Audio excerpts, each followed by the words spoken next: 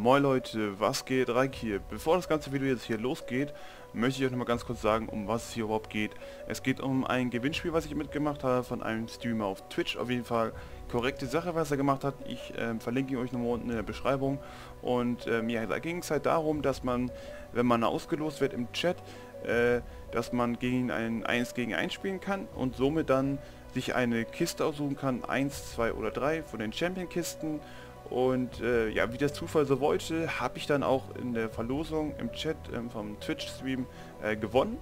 Habe ihn dann geedit über Steam und dann hat er mich invited, dann haben wir ein 1 gegen 1 gespielt. Ich habe ihn dann auch äh, abgezogen, also ich habe dann gegen ihn gewonnen.